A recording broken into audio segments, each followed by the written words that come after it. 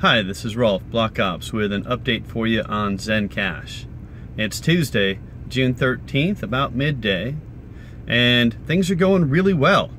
We've got, uh, about 30 hours ago, we published an upgrade to our uh, primary software, our Zen Node software, that has the transaction replay protection in it. And just to make sure that everybody's running that version of software, we've got a mandatory upgrade scheduled to take effect uh, here in about two hours. And that's at block 117575. So that's all the pool operators that need to do that, and exchange operators, and solo miners, and things like that. At the same time, we also put in place uh, or posted uh, new binaries for the Linux and Mac and Windows wallet and have updated the graphical user interface uh, wallet, the Elios wallet.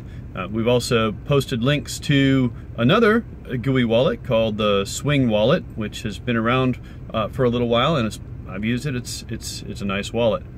So, uh, furthermore, uh, FinPunk Rob has uh, done some interviews and talked a little bit more about the direction that we're planning on taking with Zen.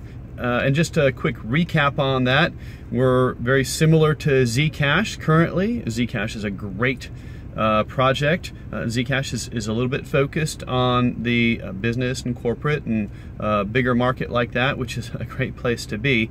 And we're a little more focused on, well, a lot more focused on individual users. So even though we're starting with their technology, uh, over time, I expect that you're going to see a divergence because we're addressing two different markets. So a usability for uh, completely secure and anonymous transactions for people all over the world. That means usable wallets, different languages, and things like that.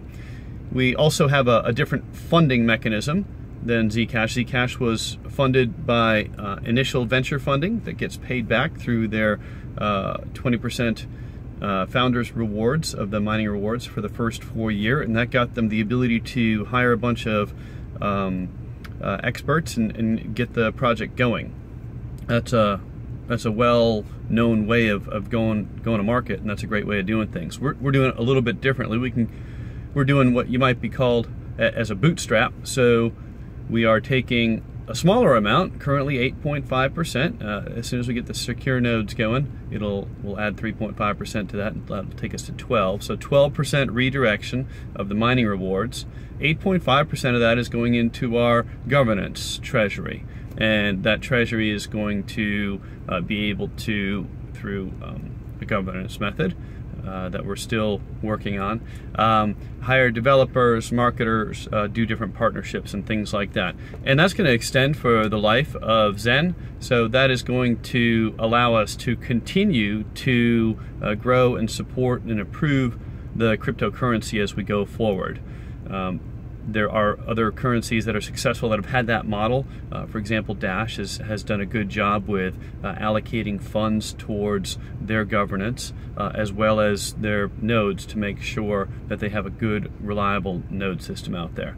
So anyway, um, not going to make this a long update. We have, uh, if you're looking to mine on Zencash, would love to have you. We have an official list of mining pools on Bitcoin Talk and our blog at our official uh, website, our, our blog site, which is blog.zensystem.io. And if you are doing the upgrade or you haven't done it yet, make sure you're using our official repository on the, the GitHub. That's the uh, Zencash official. And uh, other than that, you know, looking forward to continuing to work with the outstanding community that we have, the great group of mining pool operators and miners that we have, and of course our exchange partners, Bittrex and Trade Satoshi, and Uh, anybody else that we add in the future. So very excited about that. Thanks.